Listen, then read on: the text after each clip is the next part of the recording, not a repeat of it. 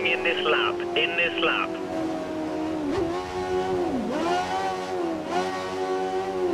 Start weaving. We need to get some temperature into the brakes and tyres. Be aware, tyres and brake temp is low.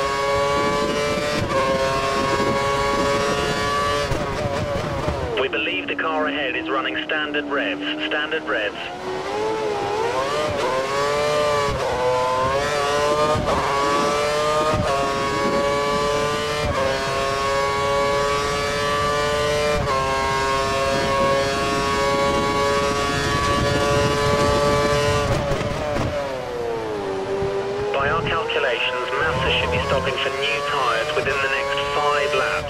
Massa into